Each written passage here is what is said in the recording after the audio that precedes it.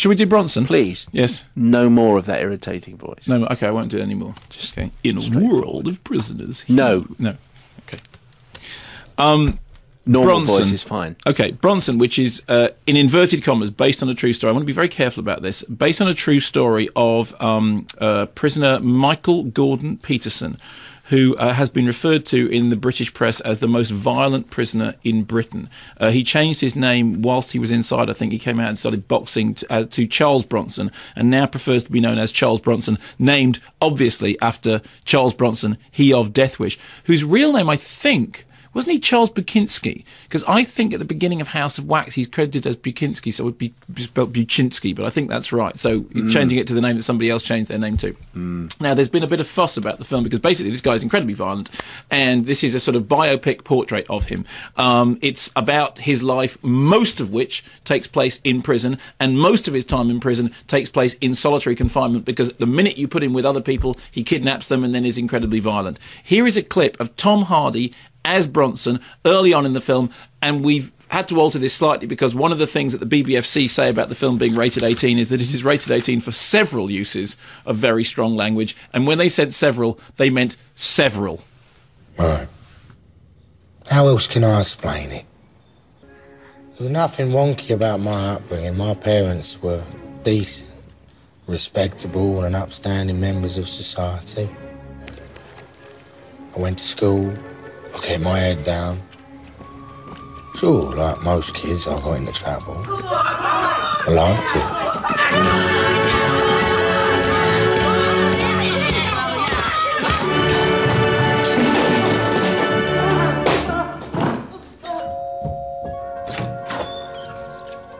Oh, Michael! Mrs. Peterson, I really must talk to you about Michael. He's been absolutely. But it wasn't bad. It wasn't bad, bad. But as far as the rest of the movie turns out, he was bad. Bad, bad, bad. Now, a couple of interesting things. Um, reported on the BBC uh, News uh, service on the 10th of March. Where are we now? We the 12th, a couple of days ago. Prison officers want an inquiry after a recording of Charles Bronson's voice was played at the premiere of a movie about the long-serving inmate's life. The armed robber and hostage taker 56 made the recording at high security Wakefield Prison in West Yorkshire. And he said, uh, "See you at the Oscars." The Prison Officers Association said the recording undermined prison security, and the government had taken steps to, re- to prevent a repeat. They've also said that they've condemned the movie starring Tom Hardy in the title role for glorifying violence. Now, the director spelt Nick Winding Refn, but I believe uh, pronounced Nick Whedon Refn, who I think is the son of Anders Refn, the uh, editor. You, of course, will know him from directing Fear X and Pusher. I was just going to wonder if it's Is it the same guy? It It's, is him, it's really the same guy. says That's um, extraordinary. Uh, I'm not being British. I wanted to make the film about the concept of Charles Bronson in inverted commas rather than Michael Peterson, his real name. I personally can't judge him as I didn't have any preconceptions or knowledge about his tabloid exploits, even to, to, or to even comment on that. The, the more the movie became about the concept of somebody becoming another person, an alter ego becoming Charles Bronson, which I thought was very intriguing. So we have two different things going on. On the one hand, you have a fuss brewing in the press about the real uh, character whose real name Michael Gordon Peterson changed to Charles Bronson and things that have happened in relation to uh, recordings of his voice being played at the premiere. On the other hand, you have the movie, which the director tells us is about the constructed character, the artificial Charles Bronson. I think we have to separate these two things to begin with. Many comparisons have been made to Clockwork Orange, as you, I think you could hear even from that clip, the kind of the use of uh, that sort of classical music with the uh, extreme youthful violence, and um, I think if you could see a clip of it, you'd see the way in which some of the camera moves are done, which are very stately and are very Kubrickian. Um, a, a closer comparison would probably be made with Chopper, the film which was about the um, you know the Antipodean uh, inmate who, who who actually was very much like this, except that he was much more loquacious. I mean, Chopper himself was somebody who you know talked and wrote about himself and kind of turned himself into a popular hero, despite the fact he was an incredibly violent man. He once described himself as just an ordinary bloke who liked a bit of torture. And he didn't say whether he liked a bit of torture porn, but he liked a bit of torture. So there are comparisons between Chopper and Bronson. The difference being that Bronson is largely inarticulate, and the film is much more visual rather than a story told through words. Uh, what you get is a portrait that is very deliberately artificial. It is a, it has theatricality and artifice. It has sections in which Tom Hardy, who is brilliant. I mean, Tom Hardy's performance in the film is really, really good. The film won an award at the Sundance Film Festival, and Tom Hardy, it is an absolutely mesmerising performance. I think the last time I saw him was in a Guy Ritchie movie, and this is a you know total leap on from that. So great central performance.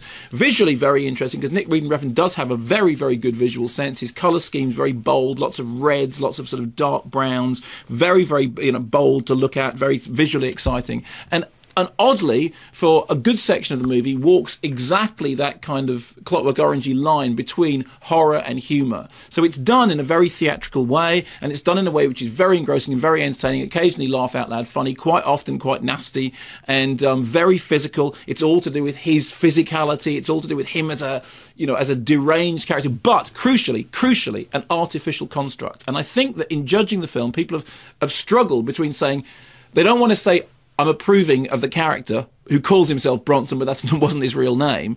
But they want to appreciate the fact that they like the film, but they're kind of caught on the horns of a dilemma. So I just want to separate those two things off and say the film, which is not a film about a real life character, although it is inspired by a real life character, but it's inspired by a real life character who invented a fictional alter ego for themselves, which was entirely violent and aggressive.